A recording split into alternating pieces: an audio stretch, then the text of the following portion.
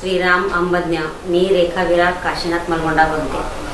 मी सायन उपासना केंद्र पूर्व इथनं बोलते. मला आले आलेला अनुभव आहे लॉकडाऊनमध्ये आलेला अनुभव आहे. मी पंधरा वर्ष झाले म्हणजे आई वडील दोघे भाव दोघे भावंड भावजय म्हणजे आम्ही असं कसं एक एकूण बारा जणांची फॅमिली होती. मी माझा मुलगा. आम्ही बारा जणांची फॅमिली आम्ही एकत्र राहत होतो कुटुंबात. पंधरा वर्ष आम्ही एकत्र राहिलो.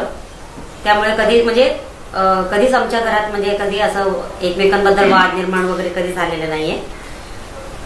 पण लॉकडाऊन मध्ये कसं सगळे गावी गेले आई वडील गावी राहिले. भावंडामध्ये म्हणजे भावंडांमध्ये वाद निर्माण झाला. त्यामुळे आम्ही वेगळे झालो. तर वेगळे झाल्यामुळे कसं मला एकत्र राहून सवय झाली होती.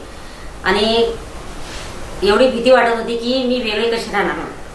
मी पंधरा वर्ष राहिल्यामुळे त्यांच्यासोबत राहिल्यामुळे मला खूप भीती वाटत होती की मी वेगळे कशी राहणार? मग आई वडील गावी राहिल्यामुळे स- भावंडांमध्ये म्हणजे सगळे वाटणे झाले की म्हणजे कोणाला काय घ्यायचं ते? गॅस सिलेंडर फॅन वगैरे सगळं. पण माझ्या वाटणीला म्हणजे थोडेफार थोडेफार म्हणजे भांड भांडे वगैरे एवढेसेच आले. आणि त्यावेळेला आम्ही रूम शोधायला लागलो सगळेच. म्हणजे दोघे भावंड आणि मी. भरपूर रूम शोधली भरपूर रूम भरपूर म्हणजे भरपूर रूम शोधली. पण काय एक पण म्हणजे रूम भेटत रूम चांगलं असेल तर चाळ वगैरे चांगली नव्हती गल्ली वगैरे चांगली नव्हती. गल्ली चांगली असेल तर लोक वगैरे आजूबाजूचे चांगले नव्हते. फार थकली थकून गेली होती की मला कोणतं तरी रूम भेटणार आता आणि मी कशी राहणार कुठे राहणार माझ्याकडे काहीच वस्तू नाही म्हणून. मी बोले बापूराय आता तुम्हीच बघा. मला माहिती नाही.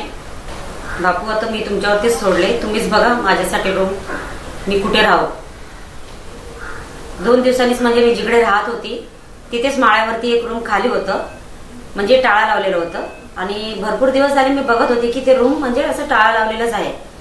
मग बाजूच्या रूममध्ये एक भाभी राहत होती. तिला विचारलं मी की हे रूम म्हणजे भाड्याने द्यायचे का? कारण मला दुसरीकडे रूम भेटेपर्यंत मी या रूममध्ये राहू शकते. मला रूम भेटत नाहीये. मग ती भावी बोलली मला की हा ठीक आहे तुम्ही राहा कारण हे रूम भाड्यानेच द्यायचं आहे अशी बोलली. मी ठीक आहे मग तोपर्यंत मला रूम कुठे भेटत नाही तोवर मी इथे राहते.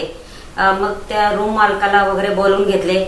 मग त्यांनी मला सांगितलं की ठीक आहे तुम्ही इथे राहा पण या घरात म्हणजे तेव्हा अजून रूम काय उघडलं नव्हतं काय बंद बंदच होतं. ते समोरासमोरच वार्ता झाली होती. आम्ही बाहेरच भेटून वार्ता झाली होती.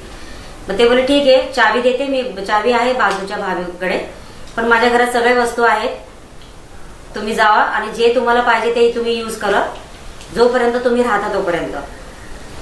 मग त्या भाभीने चावी दिली आणि रूम बघितलं तर त्या रूममध्ये सगळ्या वस्तू होत्या. गॅस सिलेंडर भांड. म्हणजे मला काहीच वस्तू घ्यायची गरज नाही पडली. कारण लॉकडाऊन मध्ये खूप प्रॉब्लेम झालं होतं. काम वगैरे काय नव्हतं पैसे हातात नव्हते.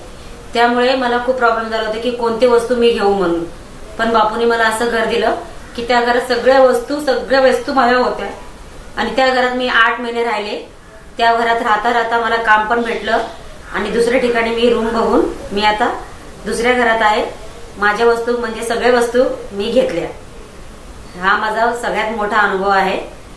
हरिओम.